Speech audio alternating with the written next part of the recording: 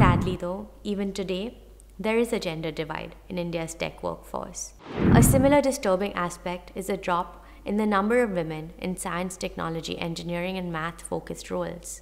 India has favorable demographics to make tremendous progress in this era of the fourth industrial revolution, also known as the digital era.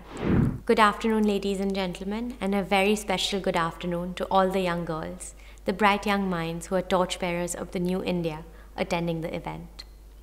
It is a privilege for me to be addressing this event, for which I must thank the Department of Telecom, Government of India, the International Telecommunications Union, the Innovation Center Delhi, and other agencies of the United Nations who are hosting the Girls in ICT Day 2024. We're living in times of exponential changes. The world is changing, the world is innovating, and if we are to survive in this fast changing world, we too must innovate.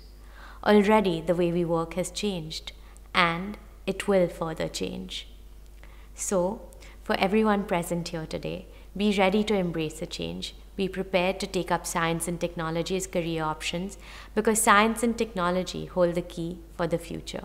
The majority of future jobs are going to be in those dreams. So break the shackles of tradition, challenge yourself, and be the change makers. Dear friends, technology has become an integral part of our daily lives today. It is constantly reshaping the way we live, work, and interact with the world. The rapid advancement of technology has triggered a digital revolution that permeates every facet of our society. From communications, education, and healthcare to business and finance, the transformative power of technology is evident. STEM, in general, and ICT in particular, are the drivers of this phenomenal progress in technology. As we move deeper into the fourth industrial revolution, the role of ICT becomes increasingly pivotal underpinning innovations in every sector and ensuring that our journey towards digital and technological advancements continues unabated and propel our nation forward. Sadly, though, even today, there is a gender divide in India's tech workforce. According to NASSCOM, only 36% of India's tech workforce are women. Blame it on age old dogmas and societal stereotypes, such as women are best suited as teachers and jobs involving soft skills. A similar disturbing aspect is a drop in the number of women in science, technology, engineering, and math focused roles. Data from the World Bank shows that women make up 43% of total STEM graduates in India, but account for only 14% of all scientists, engineers, and technologists. India has favorable demographics to make tremendous progress in this era of the fourth industrial revolution, also known as the digital era, and emerge as a world leader. If we are to drive home the advantage of our demographics, both men and women should attain their fullest potential. A male dominated STEM or ICT landscape where women are underrepresented will rob India of its opportunity to rule the roost. We have missed the first two industrial revolutions and we're merely playing catching up during the third. This era of the fourth industrial revolution has given us the opportunity to make amends. We must rise to the occasion, we must exert ourselves, and we must excel. Otherwise, we run the risk of becoming irrelevant. So, for India to shine, more and more girls, the women of tomorrow, must enter the realm of STEM and opt for technology as a career. Because if we are to build the India of our dreams, technology will be our driving force. And both men and women in science and technology must fire on all cylinders. Dear friends, in the ever evolving landscape of the tech industry, the underrepresentation of women in the workforce is a debilitating reality. The gender gap does not only signify gender bias, but it is also a hurdle in the path of innovation.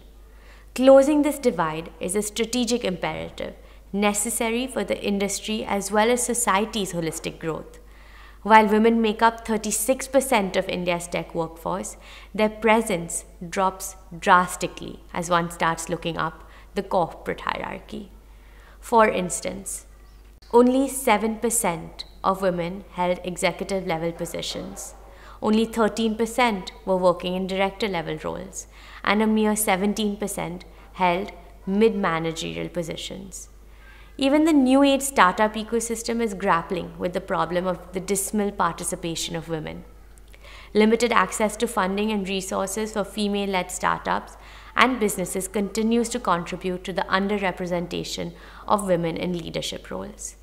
It is indeed an unfortunate scenario because women are no less suited to be leaders and change makers than men. And yet, a woman's climb to the top is invariably a lot more difficult than a man's rise. I personally believe that as leaders, women have an edge over men. Women have empathy, and that automatically makes them better leaders. A woman leader, as she climbs up the ladder, will inevitably carry the team with her.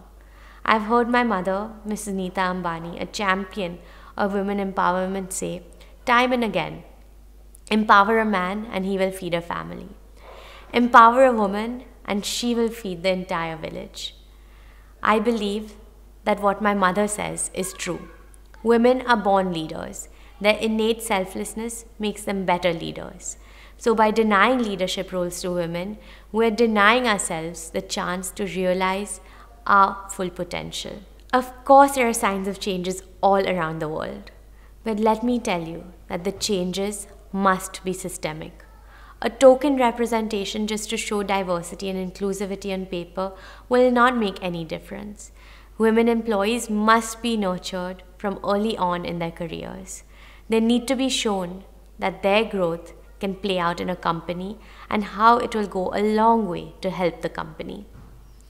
Friends, to encourage increasing participation of women in STEM and ICT and to bridge the gender divide in our tech workforce across the hierarchy, we need to design and execute a comprehensive strategy. First, curriculum enhancement. Strengthening our STEM curricula to promote equal participation is crucial.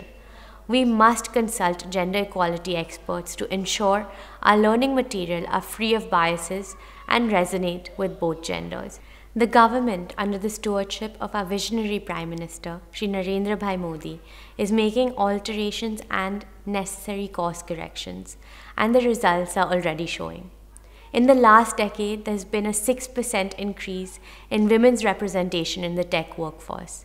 However, we still have a long way to go to make it a 50 50 man woman ratio in every sphere of technology and across hierarchies. With the government doing its part, Industry too must chip in to catalyze the transformation. The tech firms too must play their part, devising ways and means to ensure that the career of no woman engineer gets stagnated. Every woman gets the chance, like their male counterparts, to bloom to their fullest. Dear friends, let us pledge to transform our societal frameworks and educational systems to be more inclusive. By empowering women through STEM and ICT, we can unlock untapped potential and inspire a new generation of women to lead in the era of the fourth industrial revolution. Let this conference mark the beginning of renewed efforts to ensure that every young woman has the opportunity to pursue her dreams in STEM and ICT. Equal contribution from our female population is essential to sustain our growth and compete on a global scale. By empowering women to participate fully in these critical fields, we're not only bridging the gender divide, but also enhancing the creative and innovative capacities that fuel development. Together, we can build a future where innovation is driven by diversity and where our daughters have equal opportunity to become the leaders of tomorrow.